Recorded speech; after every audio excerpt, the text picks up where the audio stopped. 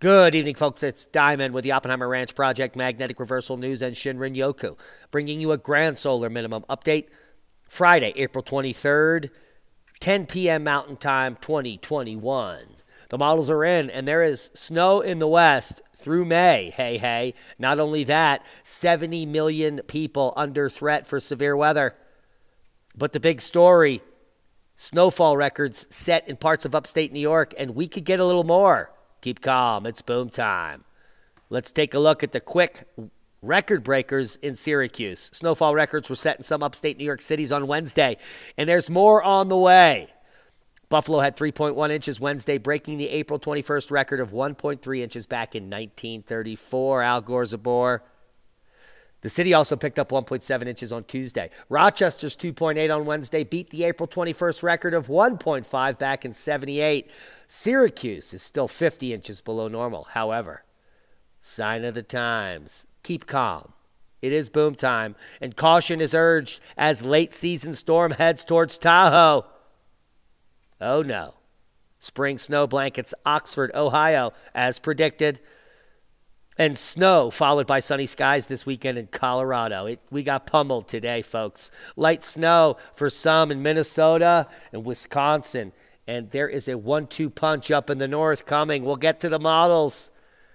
Let's check the snowfall analysis for the last 48 hours. Hours of powers up in the northeast. Maine is the big winner chicken dinner. Eight inches through a huge swath in northern Maine. It's insane northern New Hampshire, northern Vermont, parts of upstate New York, all picking up large amounts of the spring global warming goodness, including big winter. I think there was a. Can I get 24 inches there in Colorado? Holla! Snow in up uh, western Montana, all the way up to the Canadian border like a horde or hailstorms moving into the southeast Texas as I bloviate. There was warnings at 7 p.m. They have ended for Polk County and Liberty, thankfully, but another system moving. Severe hailstorms rumbled through San Antonio, could hold together and possibly reach all the way to Highway 288 corridor late this evening. They should stay south of I 10, and they're watching them for you here on, well, ABC 13. So come check them out if you're worried. 70 million people under threat of tornadoes. Holy macaroni. We have the current maps to keep you up to speed here as the system moves east like a beast. Here is the, it even says that severe sh- risks shift east. Here is your Saturday's severe weather threat for the southeast. It goes from Birmingham to Pensacola, all the way east from Savannah to Jacksonville. That is the bullseye for a severe weather threat. But don't be left out all the way from Raleigh down to or, uh, Tampa and all the way out to New Orleans. You could be in the crosshairs. All severe hazards appear possible, including large hail, damaging winds, and tornadoes. So heads up if you're in the southeast currently. An active weather weekend expected. An active weekend of weather is expected across the U.S. as severe thunderstorms are likely on Saturday in the south and southeast. These storms will contain large hail, damaging winds, tornadoes, and heavy rain with flooding. Meanwhile, a wet and inclement weekend is expected in the west, which is the best. Rain and mountain snow for form a couple from a couple of storms. Finally, fire weather threats persist in the Four Corners region. If you're in the pink, you're in the wind. If you're in the yellow, and the red, well, could be dead in the shed. Keep a close eye on the skies. Let's check the snowfall forecast for the coming week. Here is your Saturday through your Sunday. Just some light flurries up there in Minnesota, Wisconsin, and as well as the West. Nothing significant, but the mountains are going to be picking up some heavy snow here Sunday through their Monday, including the Sierras up to 16 inches of the Sierra cement some heavy snow uh, in central Nevada and much needed moisture regions, and a in the northern Rockies of the U.S., we're going to be picking up some snow. And an event on Tuesday. Oh my God, what just happened there? Everything shrunk down. An event uh, at the end of the weekend here in Colorado should bring much needed moisture for us and now it's just not working. So here, here's our Monday. It's actually Monday. Tuesday is our lose day in Colorado. And much needed moisture down in the Four Corners region in the southeast. It's looking quite nice, quite moist.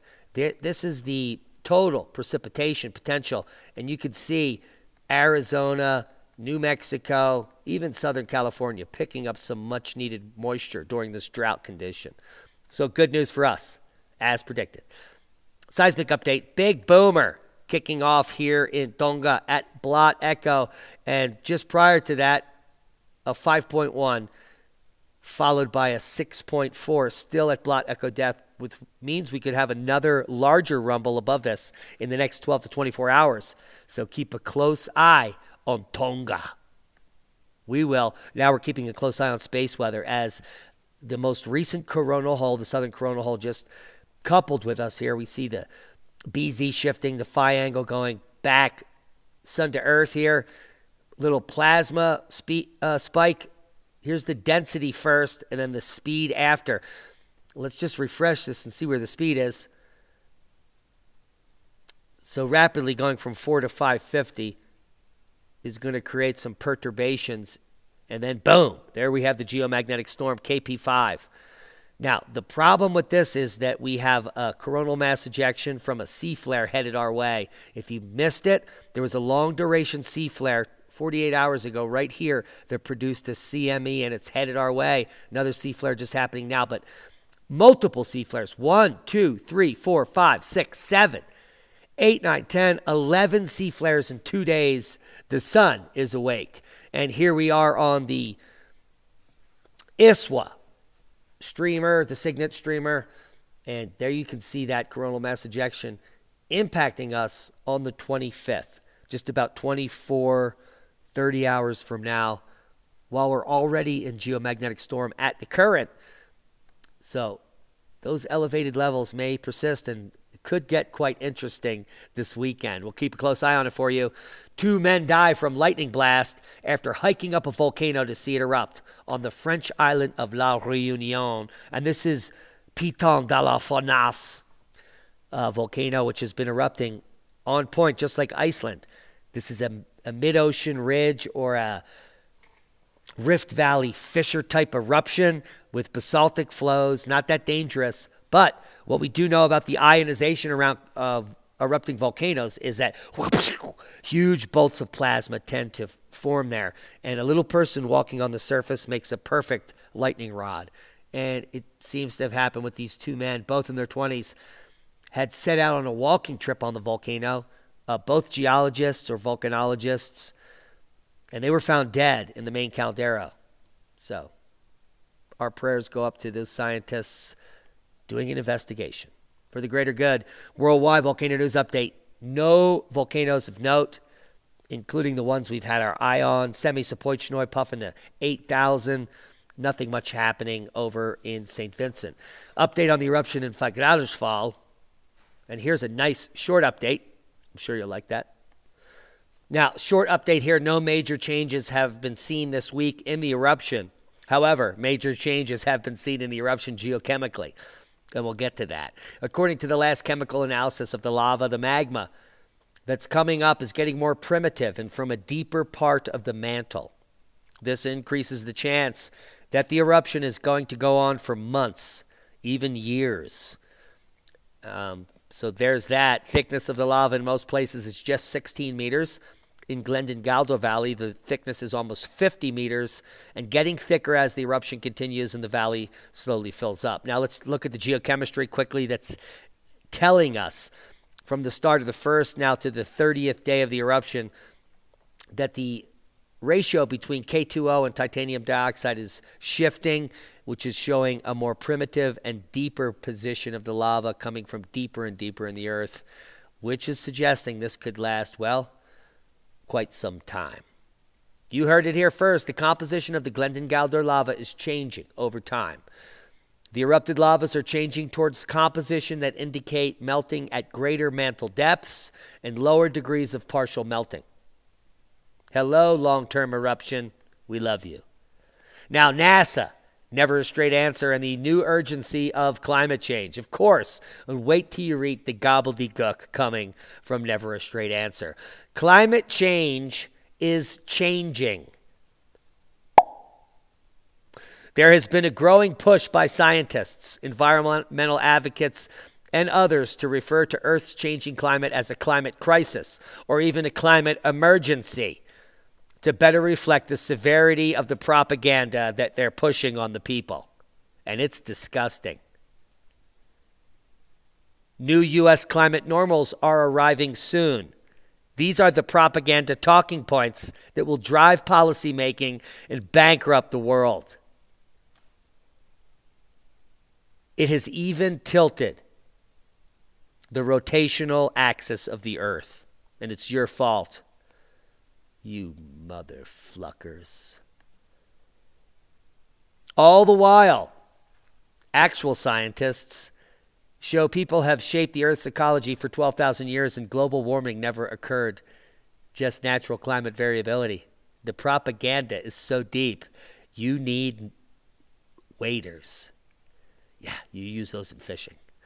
Follow up study finds a single dose of one drug can ease anxiety and depression for a nickel. That's five years in my terminology. As we are buried in the algorithm Shut up, Al. I told you it's bedtime. He's not getting any Bundt cake. It's almost 10.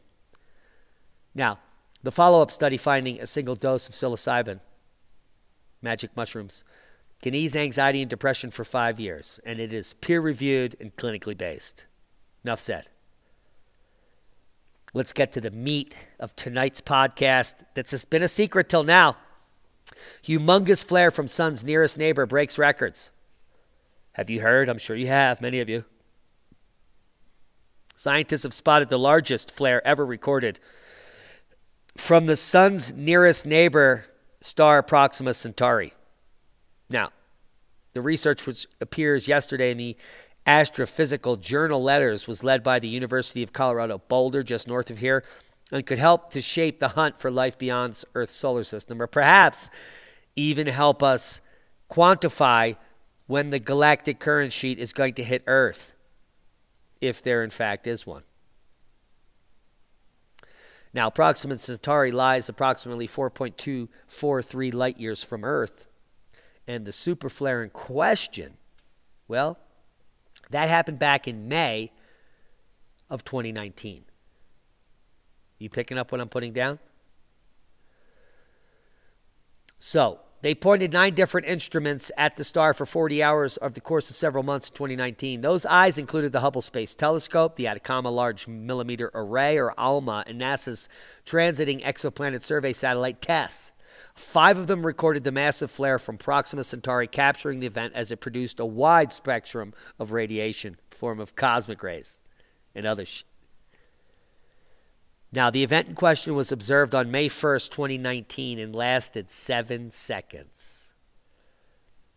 And if we do the math and we subtract 4.234 light years from May 1st, 2019, that gives us May 1st, 2020, May 1st, 2021, May 1st, 2022, May 1st, 2023, plus 2.34 months 2.34 years is May 1st, is, I'm sorry, August of 2024.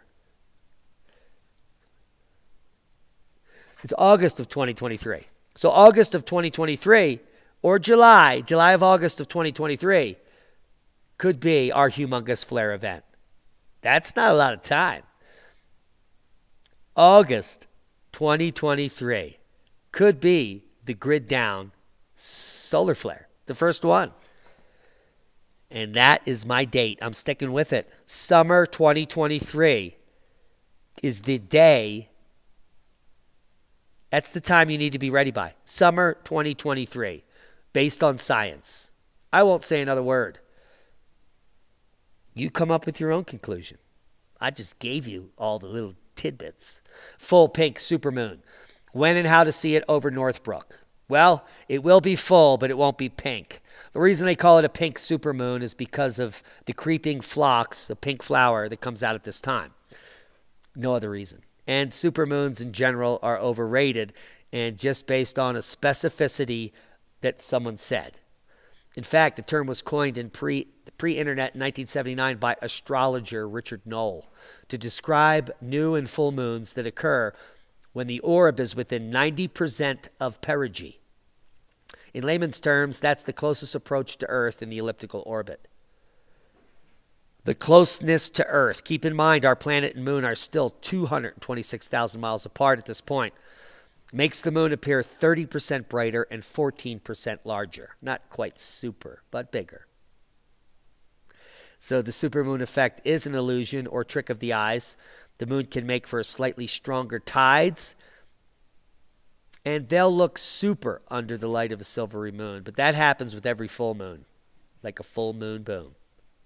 Now, the term caught on in the digital age, depending on how Nolle's de- definition is interpreted, there are between two and four consecutive supermoons a year.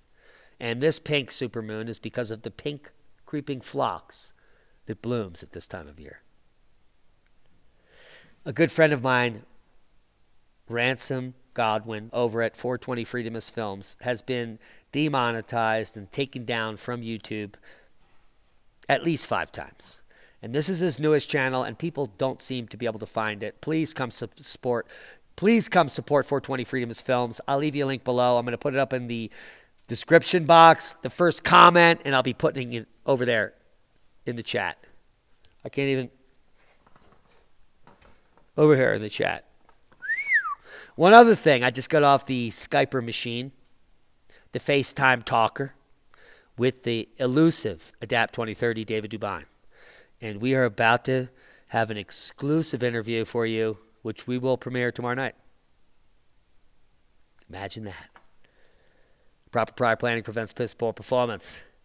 In a dystopian magnetic reversal grand solar minimum world that you live in. Boom! to knowledge. Hope you got something out of the video. Now is the time to learn to grow food, wild harvest, be self sufficient. Yes, unclick from the empire model that is about to collapse before your very lives. We love each and every one of you, our Patreons, our one time donors, our seed savers, our haters. Subscribe to the channel if you haven't. Share this with like minded people. And click on one of the other boxes to gain more knowledge. We love you. And that's a boom. Be safe. No, no, no, no, no.